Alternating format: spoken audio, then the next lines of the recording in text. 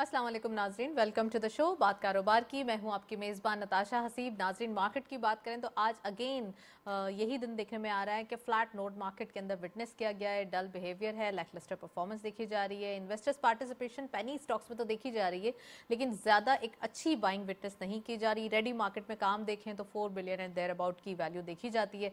Daily basis पे लेकिन जो एक कॉशस स्टैंड है या एक रिलक्टेंसी है इन्वेस्टर्स की जानब से, वो कहीं ना कहीं मार्केट के अंदर मौजूद है। कल एक लास्ट ट्रेडिंग सेशन है और उसके बाद हम कह सकते हैं कि मार्केट के अंदर अगेन नेक्स्ट वीक से बुल रन एक्सपेक्टेड है, मगर फिर भी चीज़ें जो है वो थोड़ी सी अच्छी हो जाएँ। हमारी जो क्रेडिट डेट स्वैप की पेमेंट है, वहाँ से थोड़ा सा लीनियंसी मिल जाए। तो तमाम चीज़ें, या वो हम जब पे कर देंगे तो उसके बाद जो है वो चीज़ें बेहतर हो जाएँगी। फ़र्स्ट सेगमेंट देखते हैं।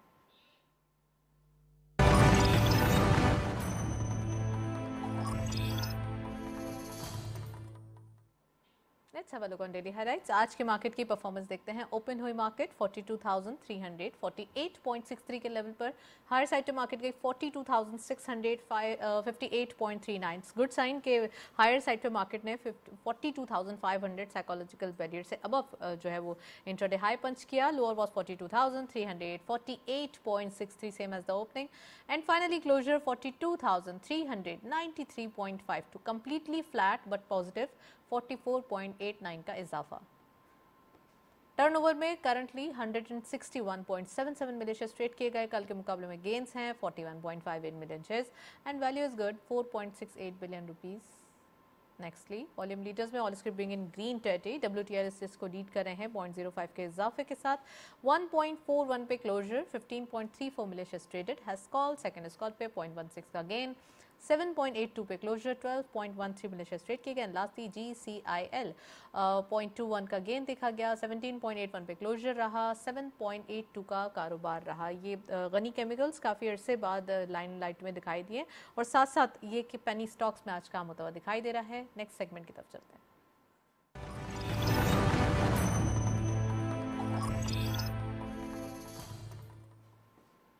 टॉपिक ऑफ़ द डे में आज हम बात करेंगे इकॉनमी और खासकर पाकिस्तान स्टॉक एक्सचेंज की जो पोजीशंस हैं, उसको अनरैप करेंगे। साथ साथ इंडस्ट्रियलाइजेशन पाकिस्तान की ज़रूरत, अहम ज़रूरत, इसको भी फोकस करने की जो है वो आज नीड है। मैक्रोस की ग्रोथ कितनी हो रही है, आज हम डिस्कस करेंगे। We have in the topics import versus exports अब क्या गैप दिखाई दे रहा है जब इम्पोर्ट कब की गई हैं? और साथ साथ प्राइवेटाइजेशन कुछ ऐसे इशूज़ हैं जो प्राइवेटाइजेशन की के यू नो रास्ते में हर्डल क्रिएट करते हैं तो उसको कितना ज़्यादा फोकस करने की एड्रेस करने की ज़रूरत है आज डिस्कस करेंगे। We have very exclusive panel खुश आमदीद कहते हैं हमारे साथ मौजूद हैं सैयद खालिद फातमी साहब। आप सीनियर एनालिस्ट हैं एक्सपर्ट भी हैं। अस्सलाम sir welcome to the show और हमारे साथ मौजूद हैं सलमान नकवी साहब। आप इकोनॉमिस्ट भी हैं और एजुकेशनिस्ट भी। Welcome to the show program का बाकायदा आगाज़ करते हैं। फातमी साहब आपसे क्या पोजीशन दिखाई दे रही है sir economic point of view से? पाकिस्तान स्टॉक एक्सचेंज की परफॉर्मेंस तो एक यू नो डल बिहेवियर देखा जा रहा है लेकिन ओवरऑल इकोनॉमी को कैसे देख रहे हैं आप? कितनी गहरी नज़र रखते हाँ, हैं देखिए जब आप स्टॉक एक्सचेंज की बात करते हैं तो हमारे यहाँ पाकिस्तान में अभी तक stock exchange as an industry नहीं डेवलप हम्म। कर पाई एक हकीकत है। और एज़ कंपेयर टू हमारे नेबर्स बांग्लादेश या इंडिया अगर आप देखें तो हमारे यहाँ इन्वेस्टर बहुत कम हैं। रिटेल में तकरीबन ना होने के बराबर हैं। कहते तो हैं कि दो लाख बीस हज़ार हैं लेकिन है नहीं। एक्टिव मेंबर्स मुश्किल से पाँच छः आठ हज़ार दस हज़ार हो जाएँगे। आपके यहाँ इन्वेस्टमेंट ज़ाहिर है जो बाहर की हम्म। मौजूद है और जो लोकल मौजूद है उसकी बुनियाद पर आप तकरीबन बावन बिलियन डॉलर पर सरमाकारी पर काम करते हैं। लेकिन इसको यानी जहाँ तक मैं समझता हूँ हमारे पास सात इकनॉमिक साहब बैठे हैं वो ज़्यादा बेहतर बताएँगे लेकिन ये अभी तक पाकिस्तान में ये नहीं कहा सकता कि इसका कोई बहुत अहम role as per the economy और इंडस्ट्री है ये मैं नहीं समझता। अब रहा ये कि कोशिश की जा रही है और उसके लिए फिर आप जब बहुत डेप्थ में जाएँगे तो बहुत सारी बातें निकल आएँगी कि ऐसा क्यों है। देखिए 3.5 मिलियन जो है रिटेलर हैं बांग्लादेश में। हमारे पास दो और दो लाख भी नहीं हैं। हम्म। तो उसके लिए क्या क्या किया जा सकता है वो तो वही लोग बता सकते हैं जो उसके करता धरता हैं। इसके बारे में ख़बरें भी आती सारी चीज़ें। लेकिन ये कि दुनिया में दूसरे ममालिक में जो डेवलप कंट्री है उसमें स्टॉक एक्सचेंज का रोल बहुत बड़ा होता है। उसकी बुनियाद पे आप जो मेज़रमेंट है और जो ग्राफ उसको चेक करते रहते हैं कि वहाँ का यानी जैसे आप समझे हम्म। सिंगापुर है या न्यूयॉर्क है या जो भी दूसरी जगह हैं हमारे यहाँ ऐसा नहीं। अब आपका जो दूसरा सवाल है कि इकोनॉमी के हवाले से। तो ये तो इसमें तो नहीं अब एक देखिए इकानमी के लिए हम हमें तो अपने जो ग्राउंड है पाकिस्तान का उसी में घूमना होगा ना जिसमें सनतें इंपॉर्टेंट है एग्रीकल्चर इंपॉर्टेंट है। हमारे मुल्क का हम्म। दारोमदार अड़सठ फ़ीसद जो है ज़रात पे है। एग्रीकल्चर पे। और तो उस पर सबसे ज़्यादा काम करना चाहिए। होपफुली चाइना से हम लोग कोशिश कर रहे हैं कि किया जाए।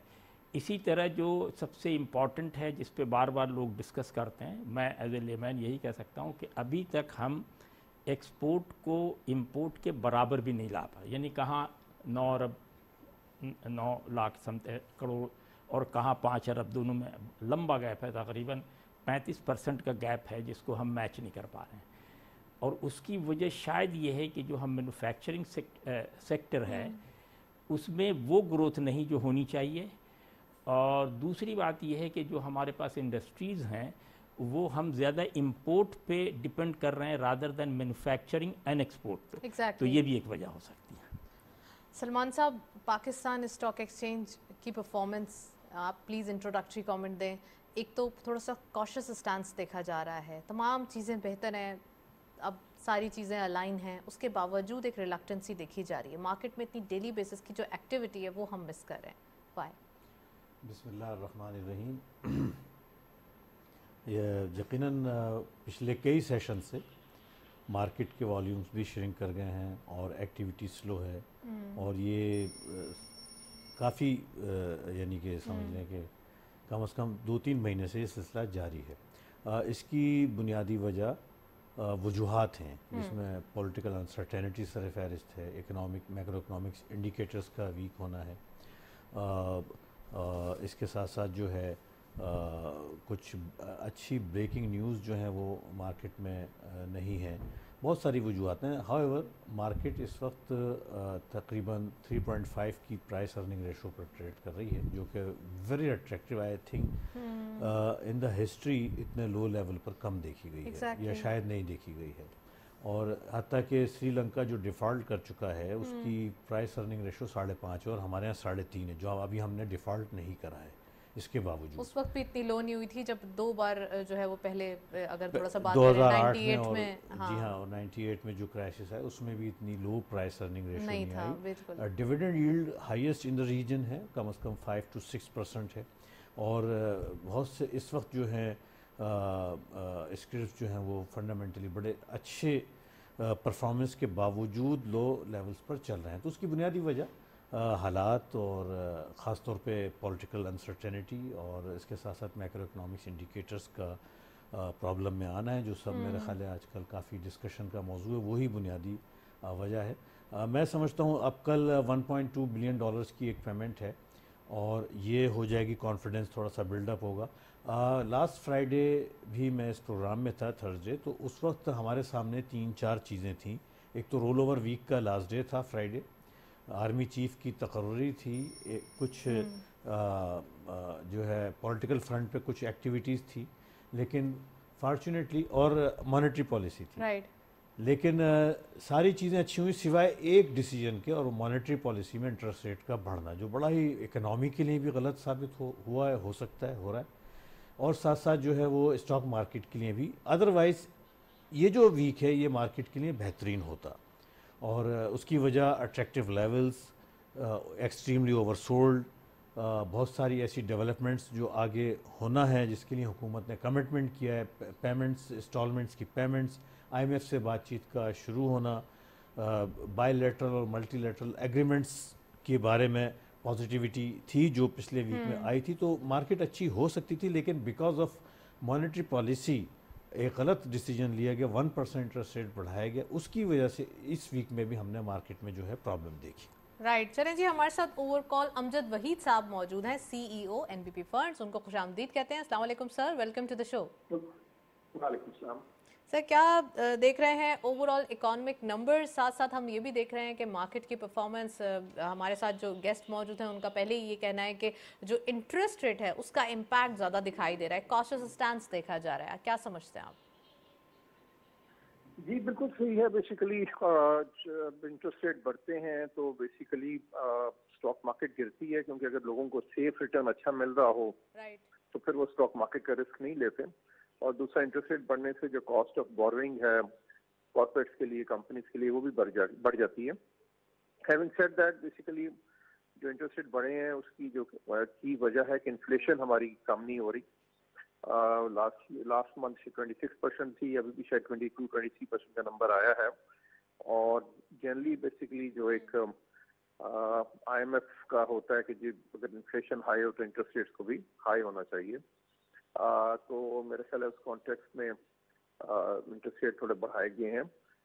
होपफुली आगे जाते हुए जब इन्फ्लेशन थोड़ी कम होना शुरू हो जाएगी क्योंकि बेस फैक्ट है अब अगर फर्दर टैक्स नहीं लगे या फर्दर बिजली गैस पेट्रोल नहीं बढ़ा तो फिर आस्ता आस्ता इन्फ्लेशन नीचे आने लग जाएगी इस महीने भी। शायद पिछले महीने के मुकाबले में दो तीन परसेंट कम हुई है। ट्वेंटी सिक्स से मेरा ख्याल है ट्वेंटी थ्री के करीब आई है। तो जब इन्फ्लेशन थोड़ी कम हो जाएगी तो फिर स्टेट बैंक के लिए भी एक अपॉर्चुनिटी निकलेगी आफ्टर टू डिकेड्स ये इंटरेस्ट रेट इतना देखा गया है तकरीबन 20 साल बाद। आप समझते हैं कि हायर इंटरेस्ट रेट पे ग्रोथ होना काफ़ी डिफ़िकल्ट हो जाता है। बिजनेसेस फ्लरिश नहीं करते। अभी भी यही देखा जा रहा है बिज़नेस कम्युनिटी शिकायत करते हुए दिखाई देती है। आने वाले दिनों में क्या एक्सपेक्टेशन है? इंटरेस्ट रेट कहाँ जाएगा? और साथ साथ अगर थोड़ा सा बात करें ग्रोथ की मैक्रोस के ग्रोथ की तो वो कहाँ देख रहे हैं? ये ऑफ़ जब इंटरेस्ट रेट हाई होते हैं तो ग्रोथ जो है वो स्लो डाउन हो जाती है। मगर जो अंडरलाइंग रीजन है वो ये है कि पाकिस्तान ने बहुत कर्जे ले लिए हैं पिछले बहुत ही सालों में और उस पर जो अब हमारी कर्जों पे की पेमेंट्स हैं वो भी काफ़ी बढ़ गई हैं। और उसकी वजह से फिर हमें टैक्स भी बढ़ाना पड़ रहा है बिजली गैस पेट्रोल भी बढ़ाना पड़ रहा है। और इस एनवायरनमेंट में ओबियसली फिर इंटरेस्ट रेट बढ़ते हैं। तो जो मैक्रो चीज़ें हैं वो ठीक करनी पड़ेंगी। गवर्नमेंट को अपने खर्चे कम करने पड़ेंगे प्राइवेटाइजेशन की तरफ़ ध्यान देना पड़ेगा। गवर्नेंस बेसिस करनी पड़ेगी। ये चीज़ें होंगी तो फिर ग्रेजुअली वी विल सी के इंटरेस्ट रेट भी नीचे आ जाएँगे। फ़िज़िकल डिसिप्लिन लाना पड़ेगा। और इसी तरह जो इस तरह हमारा इम्पोर्ट एक्सपोर्ट का फ़र्क बहुत ज़्यादा है तो इम्पोर्ट्स को थोड़ा कम कर भी रही है गवर्नमेंट और फर्दर कम भी करना पड़ेगा। इन्वेस्टर्स को क्या एडवाइस करेंगे? वो जो फिक्स डिपॉजिट की तरफ़ जा रहे हैं, अगर इंटरेस्ट रेट का ट्रेंड जो है वो डाउनवर्ड आ गया तो फिर वो जो फिक्स डिपॉजिट की तरफ़ चले गए, उन्हें तो यू नो उनके तो सेंटिमेंट्स हर्ट हो जाएँगे। उनको तो एक जहन में जो एक होगा कि काफ़ी हद तक अच्छा मुनाफा मिलेगा। वो तो नहीं होगा। तो आप उनको क्या एडवाइस करेंगे? क्योंकि स्टॉक मार्केट बड़ी अट्रैक्टिव वैल्यूएशन पर है। जी, बहुत अट्रैक्टिव वैल्यूएशन पे जब यहाँ से थोड़ा इन्फ्लेशन इंटरेस्ट रेट गिरेंगे तो स्टॉक मार्केट को इंशाल्लाह। एक अच्छी इम्प्रूवमेंट आ सकती है। तो अगर कोई किसी का टाइम हराइजन थोड़ा लॉन्ग है छः महीने साल का है या पाँच या उससे ज़्यादा का है तो उसको सूट करता है कि वो आ, कुछ एक्सपोजर स्टॉक मार्केट में रखें। चले जी वन लास्ट क्वेश्चन वही साहब। आगे फॉरनर्स की क्या एक्सपेक्टेशन है? कौन से फॉरेन बायर्स हैं जो ज़्यादा देखे जा रहे हैं यहाँ पर पाकिस्तान की मार्केट्स में? फॉरेन बायर्स या इन्वेस्टर्स बहुत कम है पाकिस्तानी मार्केट में लकी अच्छी बात ये हुई है कि फॉरेन सेलिंग जो है जो पिछले चार पाँच हम्म। साल में काफ़ी ज़्यादा हो गई थी दो ढाई बिलियन डॉलर तक चली गई थी हम्म। वो अब डाई डाउन होगी जिन फॉरनर्स ने बेचना था माल पाकिस्तानी स्टॉक मार्केट में वो काफ़ी हद तक निकल गए हैं और अब वो फॉरेन सेलिंग का प्रेशर नहीं है तो अगर यहाँ पे डोमेस्टिक बाइंग आई मार्केट में तो मार्केट रुक जाएगी पहले ये होता था कि जब डोमेस्टिक बायर्स स्टॉक मार्केट में आते भी थे तो फॉरनर्स अपना माल बेच देते थे और उसकी वजह से स्टॉक मार्केट हम्म। ऊपर नहीं जाती थी।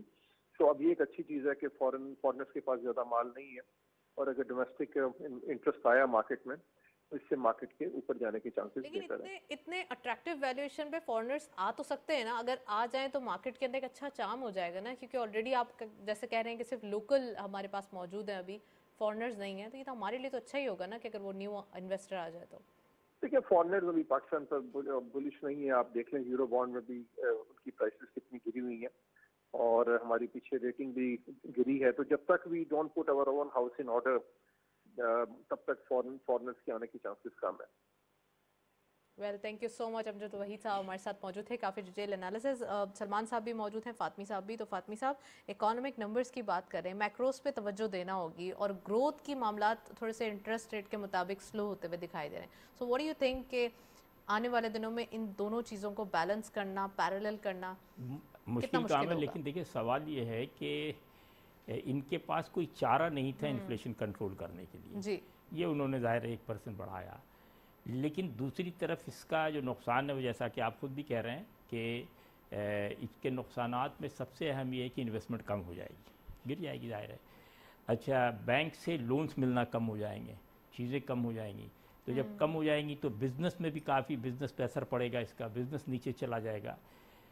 लेकिन ये मैं आपसे कह सकता हूँ जो जो इकोनॉमिस्ट हैं बड़े वो ज़्यादा इस पर नज़र डाल सकते हैं कि बिल्कुल दो अलग थ्योरी ये थ्योरी उन्होंने अमेरिकन ली है कि भाई इन्फ्लेशन कंट्रोल करने के लिए that is the only thing कि आप इंटरेस्ट रेट बढ़ा दें ताकि बाइंग की ताकत कम पड़ जाए लोग कम हो जाए और उससे फिर कवर करें।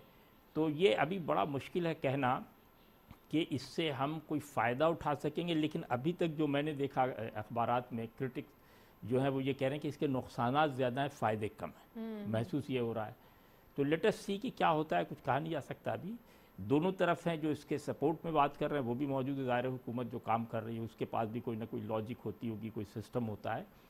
और बैंक को इससे फ़ायदा होगा बैंक को फ़ायदा होगा क्योंकि इसमें लूज़र जो है, वो ज़्यादातर कंज्यूमर हो जाएँगे। प्राइस बढ़ जाएगी, कीमतें बढ़ जाएँगी। आज अच्छा ये तो देखिए, ये तो बहुत कम है। अब आप देखिए, शायद आज ही की खबर है या कल की खबर है कि आईएमएफ ने फिर कोई रखना लगा दिया है कोई और क्लेरिफिकेशन मांगी हम्म। है जबकि नाइन जो मीटिंग थी उनकी वो भी गड़बड़ जो October last week of October में होने वाली थी वो टल गई है।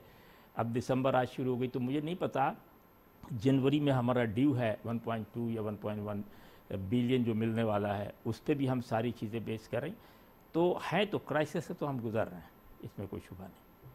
सलमान साहब एक और मज़ीद ये जो फातमी साहब ने बात की आईएमएफ के पॉइंट ऑफ़ व्यू से वर्चुअल मीटिंग्स तो स्टार्ट हो गई हैं गालिबा और यहाँ पर यह भी कहा जा रहा है कि फाइनेंस मिनिस्टर सागडार साहब ये बहुत कोशिशें कर रहे हैं कि कोई ऐसी चीज़ें ना हो, क्योंकि जब हमें एक रशिया से ऑयल लेने पे सेंक्शंस थी तो उस वक्त वहाँ से भी चीज़ें काफ़ी बेहतर हो गई हैं, क्योंकि जो हमारे लिए, हमारे मुल्क के लिए बेहतर होगा, वो गवर्नमेंट फैसला करेगी। इससे पहले भी काफ़ी डिफरेंट और काफ़ी डिफ़िकल्ट इनिशिएटिव्स लिए गए। अभी भी फर्दर लिए जा रहे हैं। क्या समझते हैं आप ये चीज़ों को मैनेज कैसे किया जाएगा? क्या इंडिकेटर्स कह रहे हैं? वार फुटिंग मोड पे स्टेप्स लेने की ज़रूरत है फौरी और इमीडिएटली और एक मिसाक जमहूरियत मिसाक इकनॉमी जो है, इसे साइन करने की ज़रूरत है। फौरी फौरी फौरी स्टेप्स की ज़रूरत है। इसमें कोई डिले करने की गुंजाइश कम है। पॉलिटिकल अनसर्टेनिटी कम की जाए उसके साथ साथ जो है आ, ऐसे पॉलिसी पॉलिसी मेजर्स लिए जाएँ। अब इम्पोर्ट को रोकना मसनू तरीके से ये भी ज़्यादा देर तक हो नहीं सकता। हावर इस गवर्नमेंट की बड़ी एफर्ट्स हैं कोशिश कर रही है। और जहाँ तक मॉनेटरी पॉलिसी का ताल्लुक है ये मेरा ख्याल है आईएमएफ के प्रेशर में आकर की गई वरना इसकी कोई की ज़रूरत नहीं कोई इसकी हमारी डायनेमिक्स ही अलहदा है। अमेरिका में हम्म। हर बिजनेसमैन हर इंसान बैंक से लोन लेता है मॉडगेज करता है जबकि पाकिस्तान में ये रिवाज नहीं है। पाकिस्तान में का कितना रिवाज है फोर्टी परसेंट कैश पे इकनॉमी है पाकिस्तान में।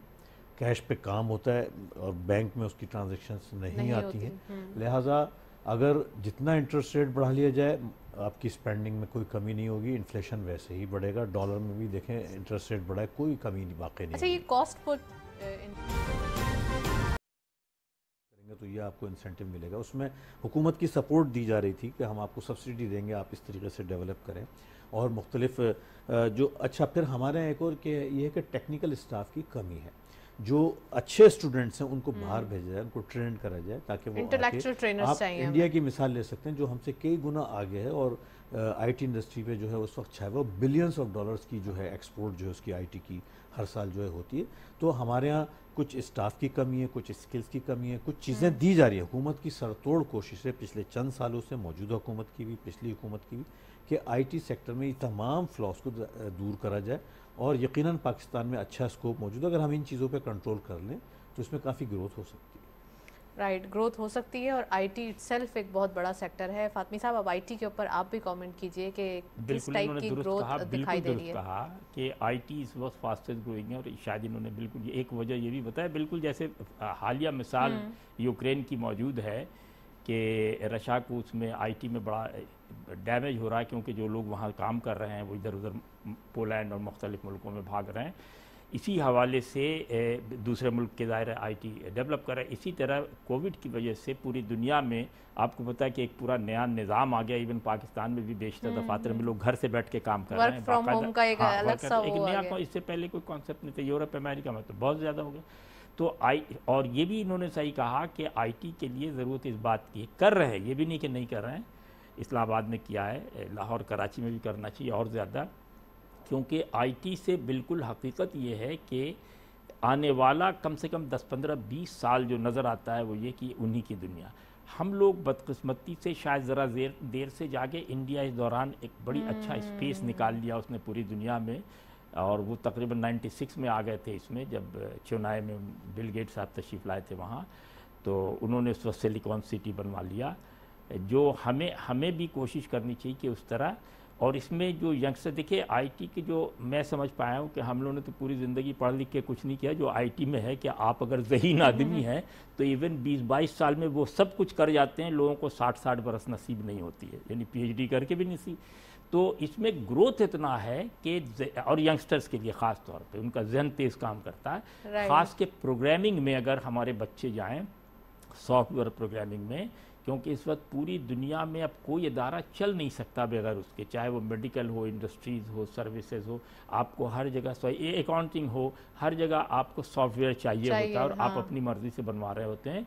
तो उस हवाले से आपके पास इतनी गुंजाइश और ये ये मुल्क इस लिहाज से भी बहुत खुशकस्मत है कि यहाँ नौजवानों की तादाद बनस्बत हम लोगों के ज़्यादा है sixty percent of youngsters population इसलिए उसको अगर उसमें यूटिलाइज किया जाए और दूसरा मैंने कहा ना इसमें सबसे बड़ी खूबी ये कि इसमें हम्म। रटने वाली बात नहीं ना पढ़ने वाली बात है कि मास्टर करना है आपको। इसमें हम्म। जहानत वाली बात है हाउ क्विक आपके हाथ और दिमाग कितना तेज़ चलता है।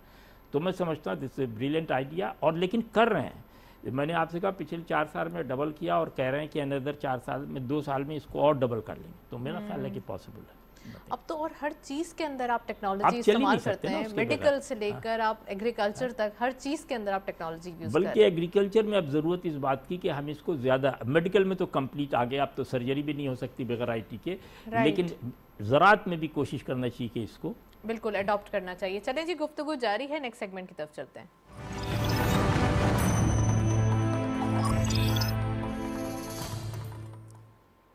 कमोडिटीज और फॉरेस्ट के लेटेस्ट अपडेट आज की मार्केट में देखते चलते हैं, क्या रही परफॉर्मेंसेज गोल्ड की per tola price one lakh sixty two thousand four hundred fifty rupees आज हायर साइड पे गोल्ड की मार्केट पे पर तोला प्राइस दिखाई दे रहे हैं gold per ten gram one lakh thirty nine thousand two hundred eighty rupees international gold rate per seventeen hundred seventy nine point nine dollar oil W T I per barrel eighty one point zero one dollar oil brent crude per barrel eighty seven point three seven dollar currencies में सबसे पहले euro buying रही 247.5 selling was 250 rupees UK pound buying रही 287.1 rupees selling was 290 rupees US dollar buying रही 229.25 selling was 231.25 Chinese yuan buying रही 31.38 selling was 31.63 nextly Saudi Riyal buying the 63.3, selling was 63.9. UAE Dirham buying at 65.4, selling was 65.9. Kuwait Dinar buying the 730.16, selling was 735.16.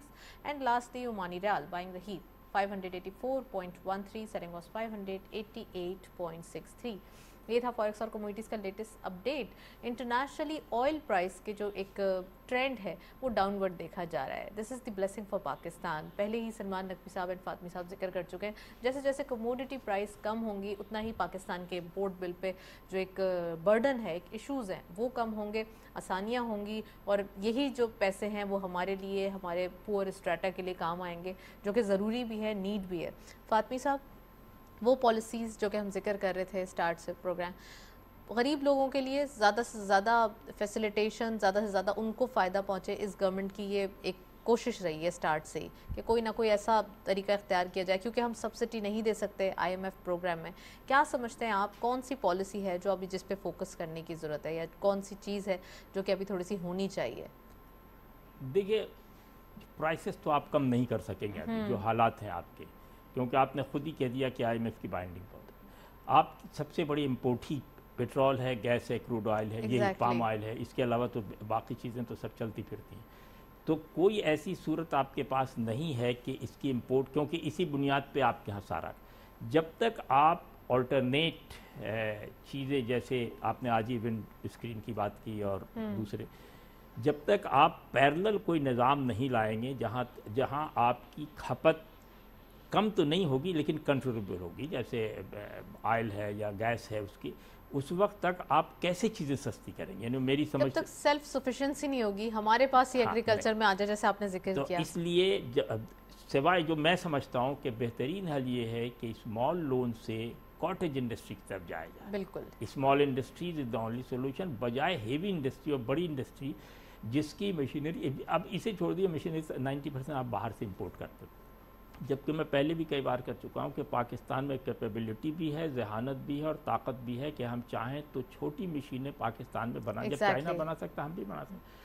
एक आम सी lathe machine है printing machine है या कोई और दूसरी मशीनें हैं जो हम सब बाहर से इम्पोर्ट कर रहे हैं hmm. एक हम्म। पाँच साल की पॉलिसी बनाई जाए या दस साल की पॉलिसी बनाई जाए जिसमें ये तय कर दिया जाए कि कॉटेज इंडस्ट्री स्मॉल इंडस्ट्रीज़ की कोई भी मशीन्स बाहर से नहीं आएगी बल्कि हम लोकल बनाएँगे यानी आप अंदाज़ा कीजिए कि आम सी बिल्कुल जो बीस हज़ार तीस हज़ार पचास हज़ार और पाँच लाख की प्रिंटिंग मशीनें हैं जो प्रिंटर्स हम्म। हैं वो भी आप बाहर से इम्पोर्ट कर कर रहे हैं ना बाहर से यहाँ से तो नहीं करनी जिसकी कीमत बीस तीस पचास हज़ार रुपये है इसी तरह आप प्रिंटिंग मशीनें इसी तरह लेट मशीन इसी तरह अच्छा आपकी सारी इंडस्ट्री स्टील आयरन पे बेस करती हम्म। ऑलरेडी स्टील मिल तो तबाही हो गया लेकिन हम्म। स्टील से जो बाई प्रोडक्ट्स हैं वो भी हम नहीं बना पा रहे हैं क्योंकि हमारे पास छोटी इंडस्ट्री नहीं है मैं शायद कल पर नहीं पिछले एक महीने पहले पढ़ रहा था कि रेलवे के जो स्प्रिंग है वो भी हम नहीं बना पा रहे हैं हालाँकि आर्मी वाले कोशिश कर रहे हैं खुद अपनी इसमें बनाने की यानी जिस हम्म। पे वेट पे चलता है इंजन वो भी ये टेंडर मांगा है इन्होंने लेकिन टेंडर सब बाहर से आए हैं तो ये जो आपका है जिस तरह आप आईटी की आपने अभी ज़िक्र किया इसी तरह आपको डाइवर्ट करना होगा और उसके लिए आपको लोगों को ये जो प्रॉपर स्कूल है ना मैट्रिक और ए लेवल और ओ लेवल और मास्टर right. इससे हटा के लोगों को जापान चीन कोरिया ताइवान के स्टाइल में बताना होगा कि सबसे ज़्यादा जो दुनिया में इस ज़रूरत है वो है काम करने की यानी मज़दूर की मशीन हम्म। की टेक्निकल की तो वो अच्छा आपके यहाँ नहीं रुझान है। क्यों नहीं है तो मैं नहीं जानता लेकिन नहीं है तो हमारे यहाँ जो मिडिल क्लास और लोअर मिडिल क्लास के लोग हैं हम्म। जो गाँव में रहते हैं देहात में रहते हैं उनके पास कोई अपॉर्चुनिटी नहीं है। वो आप नहीं फोकस कर पा रहे हैं। क्या वजह है? आई डोंट नो नहीं कर पा रहे। आपका सारा जो कंसंट्रेशन uh, है वो शहरों तक इस चीज़ पर फोकस करने की ज़रूरत है जो मैंने आपसे सवाल किया था। आपने कहा कि स्किल्स के ऊपर फोकस करने की ज़रूरत है। टेक्निकल स्किल्स डेवलप करें कॉटेज इंडस्ट्री करें। सलमान साहब लास्ट कॉमेंट है प्राइवेटाइजेशन के ऊपर बात कर रहे हैं। प्राइवेटाइजेशन जब भी होने की बात होती है चाहे वो स्टील मिल की बात हो या पीआईए की तो थोड़ी सी एक हर्डल्स क्रिएट हो जाती हैं। जबकि इश्यूज़ बहुत होते हैं जितनी जल्दी प्राइवेटाइज हो जाएँगे उतना अच्छा गवर्नमेंट के पास रेवेन्यू आएगा। जी बिल्कुल प्राइवेटाइजेशन हो या फॉर डायरेक्ट इन्वेस्टमेंट हो रेमिटेंस हो ये कुछ एवेन्यूज़ हैं जो पाकिस्तान में फॉरेन एक्सचेंज लेकर आते हैं। जी। मगर इसके लिए बहुत सारी चीज़ों का होना ज़रूरी है। सबसे पहले पॉलिटिकल अनसर्टेनिटी ख़त्म हो चार्टर्ड ऑफ़ इकोनॉमी साइन जो मैं पहले कह चुका हूँ हम्म। और उसके साथ साथ इंटरनेशनल इन्वायरमेंट जो है वो सूट करती हो अब आजकल रिसेशन है दुनिया में तो लोग अपनी अपनी इंडस्ट्रियाँ संभाल रहे हैं वो कहाँ जो है दूसरी इंडस्ट्रियों की तरफ़ जाएँगे तो जो एग्जिस्टिंग इंडस्ट्रीज़ जो प्रॉफिट में चल रही हैं वही अभी जो है वो संभाली जा रही हैं हम्म। फ़िलहाल जो हालात हैं दुनिया में जो कोरोना के बाद आए फिर यूक्रेन और रशिया की वार हो गई फिर बदकिस्मती से यहाँ एक सैलाब आ गया पाकिस्तान में। तो एग्जिस्टिंग हम्म, जो प्रॉफिटेबल इंडस्ट्रीज़ हैं दे आर अंडर ट्रबल और उनको अभी uh, उनके फाइनेंसिस को जो है वो मीट आउट करा जा रहा है। इसलिए प्राइवेटाइजेशन का प्रोसेस स्लो हो सकता है। But it is very important privatisation मैं दूसरे सिनेरों में बता दूँगा कि पाकिस्तान में अगर प्राइवेटाइजेशन एक फुल स्केल पर हो जाए हम्म। तो हमारा मुल्क बहुत तरक्की कर सकता है। करप्शन का सबसे बड़ी रुकावट प्राइवेटाइजेशन होगी। हमारे मुल्क में जो भी इदारे इस वक्त हैं गवर्नमेंट की तहवील पर ज़्यादा से ज़्यादा तादाद में प्राइवेटाइज करा जाए अच्छे वक्त आने पर अच्छी कीमतें मिलें। कुछ अभी स्टेक्स बेचे जा रहे हैं जो हमने ख़बरों में सुना है यू को और twenty ten to twenty percent उसमें ई एन पी सेक्टर के हैं O G D C P P L के टेन परसेंट शेयर हैं पी एस ओ के भी हैं कुछ इस पर बातचीत चल रही है। क्योंकि ये बड़ा अट्रैक्टिव हम्म। हैं और मौजूदा जो इस वक्त इनके लेवल्स आए हुए हैं तो उस पर यकीन बाहर के लोग इंटरेस्ट ले सकते हैं तो इस तरह की कोशिशें करते रहनी चाहिए और प्राइवेटाइजेशन यकीनन जैसे हालात सेटल डाउन हो उस पर सबसे ज़्यादा फोकस करना चाहिए well thank you so much Salman Naqvi साहब, हमारे साथ मौजूद थे। फातमी साहब का भी बहुत बहुत शुक्रिया, आप तशरीफ़ लाए। ओवरऑल आज के दिन हमने डिस्कशन की, जिसके अंदर हमने फोकस किया बिजनेसेस के ऊपर प्राइवेटाइजेशन और साथ साथ न्यू जो कॉटेज इंडस्ट्रीज़ या एस के हवाले से बात करें तो न्यू इंडस्ट्रीज़ होनी चाहिए ग्रोथ होनी चाहिए, जो कि इंटरेस्ट रेट की वजह से थोड़ी सी अभी यू नो हम कह सकते हैं कि लाइमलाइट में नहीं है, अभी थोड़ा सा डाउनवर्ड ट्रेंड शो कर रही है तो उनके लिए फोकस करना ज़रूरी है। और पाकिस्तान की इकॉनमी के लिए नंबर्स को जितनी जल्दी स्ट्रॉन्ग किया जाए उतना बेहतर होगा, क्योंकि ये सब तमाम चीज़ें इसीलिए मुमकिन होंगी जब ग्रोथ जो है वो एक अच्छी सी और एक फ्लरिशनेस करती हुई होगी। दैट्स इट इसी नोट पर प्रोग्राम को वाइंड अप करेंगे. इजाज़त दीजिए. अल्लाह हाफिज़.